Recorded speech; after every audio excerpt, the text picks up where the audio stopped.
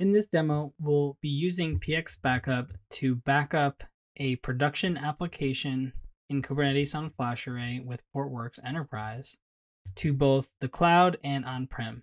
We'll be using Pure FlashBlade as our on-prem backup target and Azure Blob Storage as our cloud target. Note that other clouds besides Azure work in this case with PX Backup. However, we're using Azure as our demo cloud.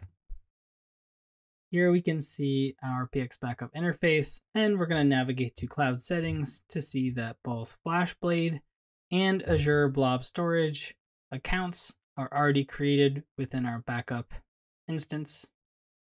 The backup locations for Azure Blob Storage and FlashBlade ob Object Storage are also created, and therefore we already have our configuration ready to go for this type of use case.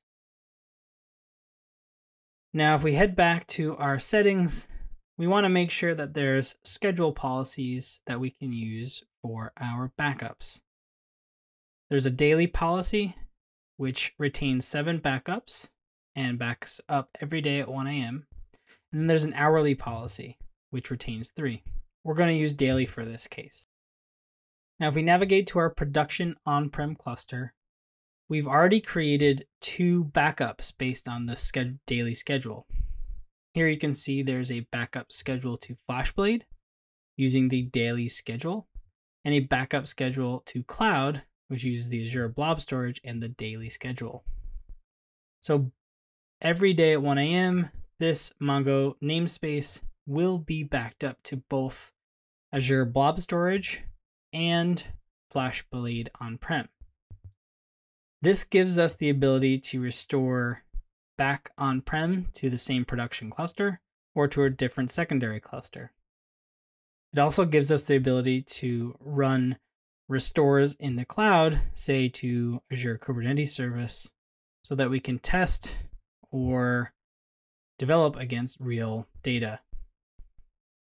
We navigate to our storage and object storage endpoint in the FlashBlade UI you can see here our FlashBlade PX backup bucket exists and our objects are being created within this bucket.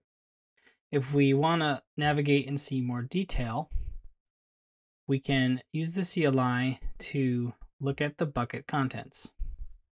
Within the FlashBlade bucket, you can see that there are a number of different namespaces. In this case, MongoNS was our target, you can navigate into the Mongo NS directory and see the schedule occurring for FlashBlade.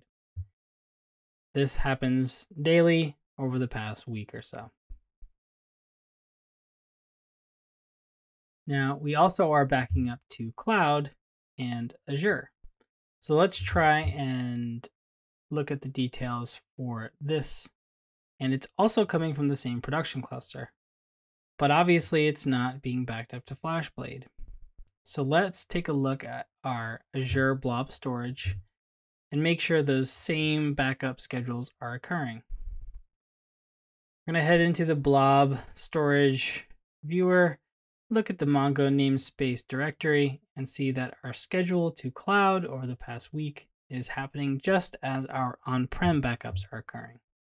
So this shows you that both the application is being backed up to FlashBlade on-prem and to Azure Blob Storage from a single Kubernetes location, giving us the flexibility to restore to either.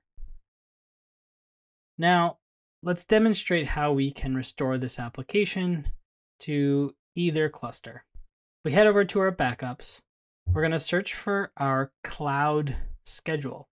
Here you can see all the cloud daily backups that have been occurring.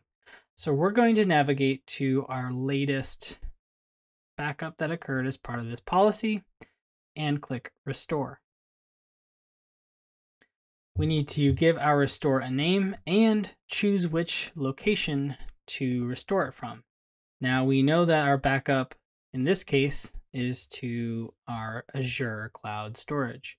So the location is much closer to be able to restore to our cloud Azure cluster. In this case, this is an Azure Kubernetes cluster. We can make sure that the Mongo namespace is the same and replace any existing resources that are in it. Say we're using this cluster for testing, we want to make sure it gets updated with the latest backup. So the restore starts and the volumes will be pulled from Azure Blob Storage into our AKS cluster, and the resources will also be restored from Azure Blob Storage into our AKS cluster. So if we refresh our backup one more time, we should be able to see the application begin to create itself within our Azure cluster. If we head over to our Kubernetes cluster and head over to our workloads and navigate to the Mongo NS namespace, we can see our MongoDB is up recently within the last minute. This shows that we are able to restore from our policy that backs up to both on-prem FlashBlade and to cloud-based Azure Blob Storage. Until next time, take care.